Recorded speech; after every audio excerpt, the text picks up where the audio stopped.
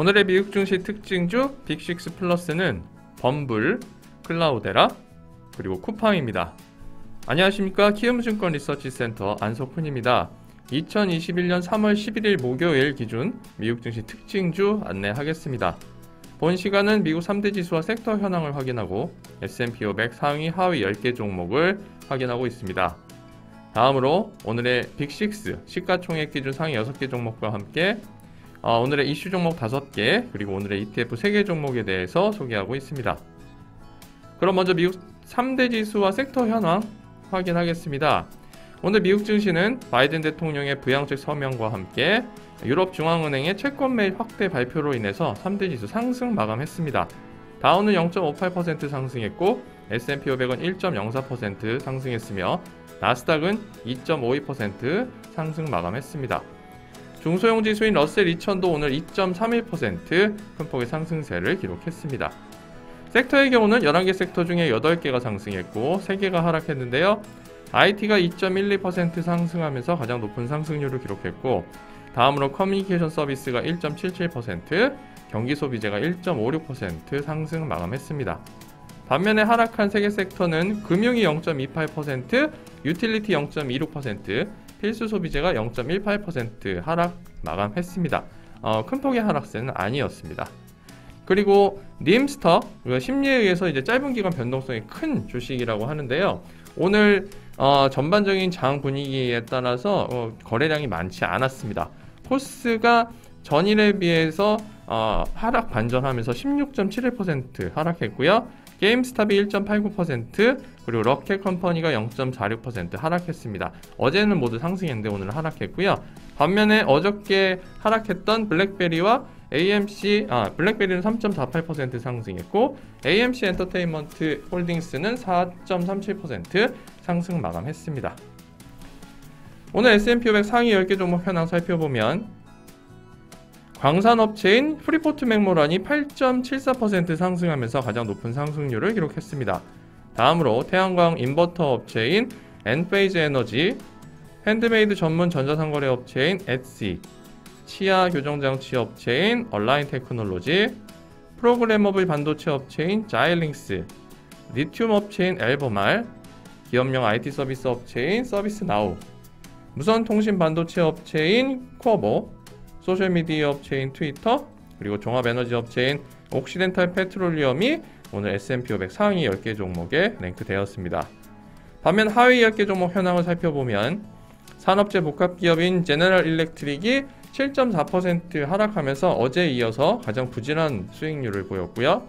이어서 기업용 IT 솔루션 업체인 오라클, 주택건설 솔루션 업체인 NVR, 포장지 업체인 실드에어, 이동통신 서비스 업체인 버라이즌 커뮤니케이션즈, 종이 포장 솔루션 업체인 웨스트락, MRO 서비스 업체인 WW 그레인저, 어, 전기 유틸리티 업체인 피너클 웨스트 캐피탈, 통신 서비스 업체인 루멘 테크놀로지스, 그리고 금속 포장지 업체인 볼이 오늘 S&P 500 하위 10개 종목에 랭크되었습니다.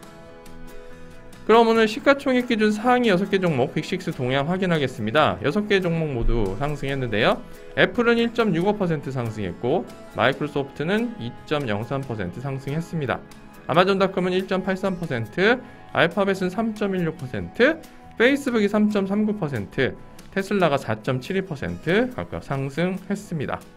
애플은 전일 아이폰 12 미니 생산을 줄인다는 소식이 있었는데 어, 이 이야기는 오히려 아이폰 12 프로 등 고가 제품에 집중하기 위한 어, 전략적 선택이라는 보도가 있었고요. 아마존닷컴은 이유가 동사에 대한 반독점 소송을 제기하는데 어려움을 겪고 있다고 파이낸셜 타임즈가 보도를 했습니다. 동사의 알고리즘을 통해서 경쟁 업체보다 동사 제품을 인위적으로 이용자들에게 많이 노출시키고 있다는 사실을 입증해야만 하는데요. 그것이 실제로 어려운 상황이라는 얘기죠. 아, 더불어서 28개의 신선식품 매장을 신규 오픈할 예정이라는 소식도 전해졌습니다. 알파벳과 페이스북은 뭐 특별한 소식이 없었고요. 마이크로소프트도 개별 이슈는 없었고요.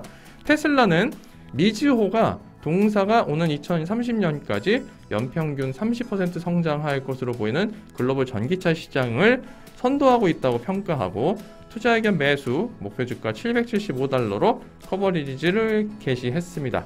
더불어서 니오에 대해서도 커버리지를 게시하면서 니오도 오늘 11.4% 급등했습니다. 이들 빅6의 마감 후 동향 살펴보면 어, 약보 합세를 보이고 있는데요. 애플이 0.01% 하락 중이고 마이크로소프트는 0.08% 상승 중입니다. 아마존닷컴과 알파벳은 변동이 없고요. 페이스북은 0.04% 상승 중이고 테슬라는 0.3% 소폭 하락세를 보이고 있습니다. 다음으로 오늘의 이슈 종목 5개 확인하겠습니다. S&P 500 중 가장 높은 상승률을 기록한 광산업체인 프리포트 맥모란은 8.73% 상승했습니다. ticker는 알파벳 세 글자 FCX이고요.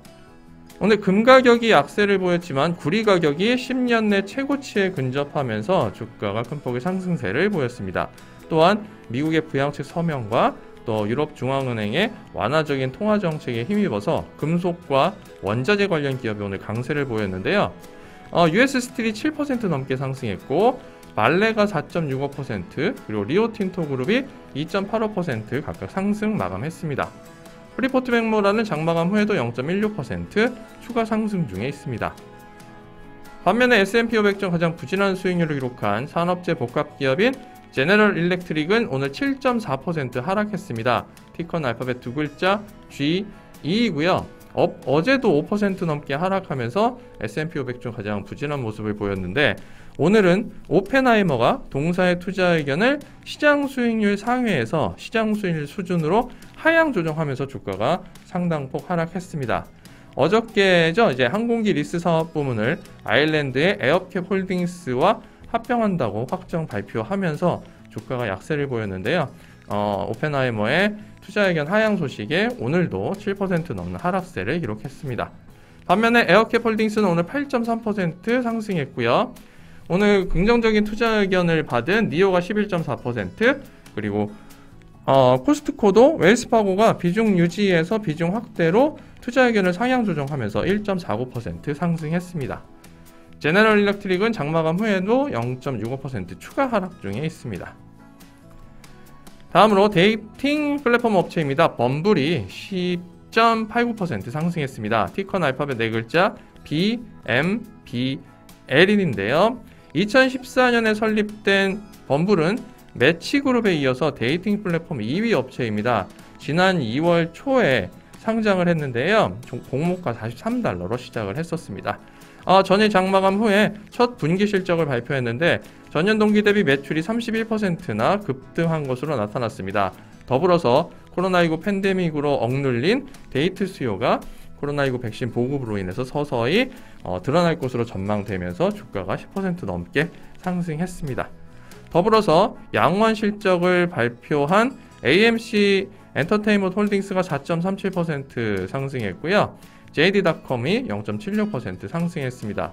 참고로 어, dating 플랫폼 1위 업체인 매치그룹도 오늘 5.79%큰 폭의 상승 마감했습니다.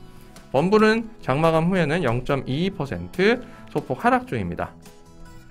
그리고 데이터 분석 관리 업체인 클라우데라가 오늘 12.56% 하락했습니다. ticker는 알파벳 네 글자 C, L, D, R이고요. 전일 장 마감 후에 2020 회계년도 4분기 실적을 발표했는데 매출은 전년 동기 대비 7% 증가했고 EPS도 275%나 증가하면서 모두 예상치를 상회했습니다. 하지만 부진한 연간 가이던스를 제시하면서 주가가 큰 폭의 하락세를 보였는데요. 더불어서 오늘 부, 어, 부진한 실적과 가이던스를 발표한 파티 및 이벤트 용품 소매 유통 업체인 파티시티가 11.69% 급락했고요. 그리고 양호한 실적을 발표했지만 클라우드 사업 부문이 부진한 모습을 보인 기업용 IT 솔루션 업체 오라클도 6% 넘게 하락하는 모습을 보였습니다. 클라우데라는 장마감 후에는 0.9% 넘게 상승 중입니다. 그리고 다섯 번째로 어, 대한민국 대표 전자상거래 업체입니다. 쿠팡이 오늘 40.71%첫 상장 이래 급등했습니다. 티컨 알파벳 네 글자 C, P, N, G이고요. 공모가인 주당 35달러 대비 81%, 오른 63.5달러에 거래를 시작해서 69달러까지 상승하기도 했습니다. 또한 억만장자 거물이라고 하죠. 스탠리 드러켄밀러와 빌 애크먼도 동사의 투자자로 알려지면서 매수세가 더욱 커진 상황인데요. 전일 상장했던 온라인 게임 플랫폼 업체 로블록스도 오늘 6.33% 상승했습니다. 전일 상장하면서 54.44% 급등했었는데요.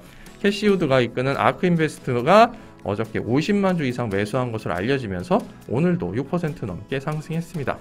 쿠팡은 장마감 후에도 2.74% 강세를 보이고 있습니다. 자 그리고 마지막으로 오늘의 ETF 3개 종목도 소개하겠습니다. 글로벌 주식시장에 투자하는 ETF 중에 오늘 가장 높은 상승률을 기록한 ETF는 아이시어즈 MSCI 브라질 ETF입니다. 티커는 알파벳 네 글자, 아, 세 글자, EWZ이고요. 4.14% 상승했습니다. 어제도 가장 높은 상승률을 기록했는데요. 오늘도 역시 가장 높은 상승률을 기록했네요.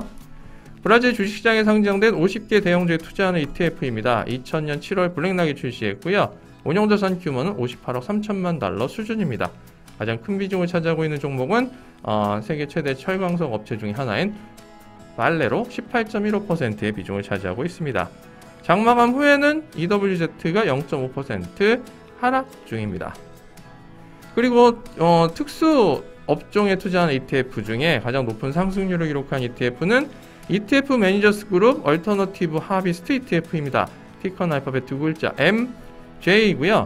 글로벌 주식시장에 상장된 31개 대마초 및 담배 관련 업체에 투자하는 ETF입니다. 2015년 12월 ETF 매니저스 그룹이 출시했고 현재 운용자산 규모는 16억 4천만 달러 수준입니다. 가장 큰 비중을 차지하고 있는 종목은 어, GW 파마슈티컬즈로 약 4%의 비중을 차지하고 있습니다. 어, 장마감 후에 0.08% 추가 상승하고 있는 MJ 예, 현황 확인했습니다.